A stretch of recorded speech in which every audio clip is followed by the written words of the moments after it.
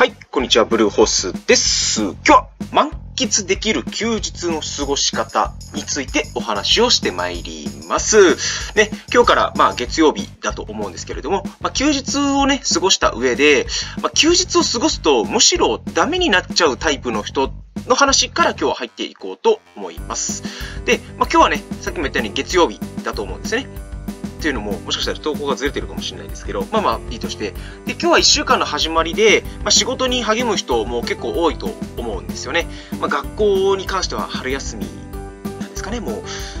う。羨ましい。で、まあ、そんな日々ね、仕事行っているとか学校行っている人たちの中で、休日やだ、過ごしたくないっていう人は、まあ、多分少ないと思うんですよね。よっぽど友達に会いたいとか同僚に会いたいっていう人がいたら、まあ、休日の方がむしろね、あの、嫌だなって思う人もいるかもしれないんですけれども、ね、まあ、例えば、あとは、よっぽど家族からないがしろにされてね、まあ、会社とか学校くらいしか居場所がねえなっていう人だったら、まあ、休日嫌だなって思うかもしれないですけどね。まあそこまで多くはないと思うんですよね。で、みんな休日は大好きなんですよね。大好きなんですけど、過ごし方を間違えてしまうと、休日なんてなければよかったっていう、まあ、せっかくの休みなのに後悔しか残らなかったとかね、何もしないままサザエさんが終わっちゃったっていう、休日がむしろ皆さんを不幸のどん底に落とすなんてことになりかねないんですよね。仕事とか学校をまた週新たに迎えるにあたってリフレッシュして明日からも頑張るぞっていう気持ちを休日で培わなくちゃいけないのにむしろそれができないっていうような状態になっちゃうんですよね。だからどうすれば休日の満足度っていうのを上げて週明けから仕事や学校への意欲を上げれ、上げられるのかですね。ら抜き言葉になっちゃってますね。上げられるのかっていうのを今日は紐解いて参りましょう。はい。でね、休日の効果っていうところの話なんですけど、そもそも、ね、ここが根本的な話だと思うんですけど、休日があったら人って幸せになることができるのっていうことなんですが、これに関しては、残念ながら、だらだら何も計画なく過ごすと効果なし。朝起きて、ぼーっとなんかソファーかなんかで横になってスマホをポチポチいじって、で、ちょっと疲れたからまた昼寝して、なんか適当にお腹空いたからご飯食べて、みたいなことをしていると、むしろ疲れてしまったりとか、仕事が近づいてくると、まあ明日仕事だなとかってなってくると、なんかだんだんね、もうなんか焦ってくるんですよね。だからそういう状態にならないためにも、旅行に行ったりとか、アクティブなことをすると、幸福度とか健康レベルっていうのは日々上がっていくんですよ。技術過ごすと。ところが、その効果っていうのは、まあ、日常に戻ると、まあ、2, 2週間程度でその効果がなかった状態に戻っちゃうんですよね。だから、どんなに充実した休暇を過ごしたとしても、あっという間にメンタルレベルっていうのは戻っちゃいますよっていうことなんですね。まあ、毎週毎週ね、旅行には行ってられないですからね。で、過ごし方が変わる、過ごし方を変えることによって幸福度を、まあ、長い期間伸ばす方法っていうのが実はあるんですよ。で、人生って紆余曲折するじゃないですか。ね。例えば、まあ、オンとオフの切り替えをうまく行うことでメリハリがあるからこそ幸福っていうのを感じる度合いっていうのは大きくなっていくんですが、毎日同じ料理を食べてたら飽きますよね。カレーがめちゃめちゃ好きです。でも毎日カレー食べてたら、一郎以外は飽きちゃいますよね。で、毎日楽しいことばっかり、例えば温泉に入るとか、旅行に行くとか、友達と遊ぶとか、カラオケするとか、ボーリングするとかって、そんなのが毎日続いてたら、いずれその楽しさっていうのも薄れてしまうんで、だから時にストレスのかかることっていうのも必要だったりするんですよ。ストレスを乗り越えたからこそ楽しみが倍増するっていうことなんですね。うん。で、休日の効果っていうのを持続させる方法っていうのがあって、それは何かっていうと、まあ、旅行がどれだけ楽しくても幸福が続く人っていうのは少ないんですよね。で、一方で、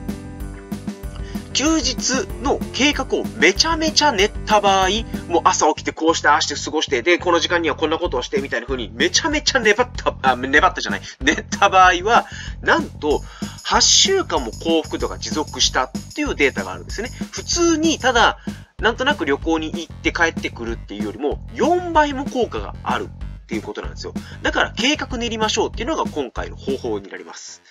で、単純に休みになったら映画行こうとか、温泉行こうぜっていう思いつきっていうのは×ですよと。当然2週間効果あるんで、効果がないかあるかって言ったらあるんですよ。ね。ところが、もっと長く満足度上げるためには、例えばですが、9時半から映画を見て、12時の電車で移動して、庭園のあるお蕎麦屋さんで食べて、昼食を食べて、で、食後に有馬温泉の金の湯に入るくらい、細かく立てておく方が、満足度とか幸福度っていうのも高くなるんですね。で、よく、まあ、旅行に行く前に、あそこ行こうよ、ここ行こうよとか、こんなもの食べようよっていう風に計画をね、例えば彼氏、彼女ととか友達とか家族とかと寝ている時っていうのが一番楽しいって言われるんですけど、実は心理学的に見た時にその通りだったみたいっていうことなんですね。はい。ですから、コントロール感っていうのが結局重要なんですよ。どう過ごすのかっていうのを流されるままに過ごしてしまうんじゃなくて、自分でどう過ごしていくのか、どういうことをするのかっていうのをコントロールしておくことっていうのが重要だっていうことなんですよ。で、何度もこれっていうのは、このチャンネルで話していることなんですよね。健康的かつ幸福度っていうのを高めていくためには、自分でやることを自分で意思決定をすることが大事なんですよ。そういうその意思決定自体もコントロールできているかっていうことがポイントになるわけなんですね。はい。で、休暇を過ごす場合であったとしても、こういうことなんですよ。過ごし方を自分で計画したかどうかっていうのがすごく大事です。だから人に計画してあそこ行こう、ここ行こうってやってしまうよりも、自分であそこ行こう、ここ行こうっていうことを計画した方が圧倒的にいいです。で、計画した上で行ったことのない場所に初めて行ってみたりとか、新しいことにチャレンジしてみるっていう、自分での計画、新しいことへのチャレンジっていう、以上2点を押さえておくと、休日の充実感効果っていうのは抜群に上がるんですね。で、先にも書いた通り、行ったことのない場所へ綿密な計画を立てた旅行っていうのは、一つ、これは最強の休日の過ごし方になるんですね。で、今日は月曜日なので、次の土日に向けてとか、今コロナの影響でね、まあ、旅行に行くのが難しい昨今ではありますが、1ヶ月後にはゴールデンウィークっていうのが迎える直前に今まあ来てますんで、ゴールデンウィークに安全はまだね、多分ね、1ヶ月程度じゃ変わらないと思うんで意識しなくちゃいけないと思うんですけど、まあ、どこかへ出かけたいというふうに思っている人は多いと思うんですよね。で、今から1ヶ月間かけて計画っていうのをぜひ立ててみてはいかがでしょうかっていうのが今日お伝えしたいことになります。で、で、ゴールデンウィーク過ごすじゃないですか。で、8週間続くっていうことは、7月の頭くらいまで持続すると。で、ちょろっと頑張ったら、今年オリンピックも、まあ、おそらく開催されるのかなみたいな感じで今流れ進んでますけど、開催されるのであれば、4連休があるじゃないですか。で、4連休またいい過ごし方をすると、今回やったような計画的な過ごし方をしてみますと。で、さらにその1ヶ月半、1ヶ月後くらいか、にはまたお盆があってっていう風に、3連チャンでゴールデンウィーク、4連休、お盆っていう風に大型連休っていうのがやってくるチャンスが巡っていますので、そこでこういった過ごし方っていうのはぜひ心がけてみていただけたら、非常に幸福度高い平日を過ごすことができるようになるのではなるのではないでしょうか。ということで、本日の動画は以上となります。お疲れ様でした。さよなら。バイバイ。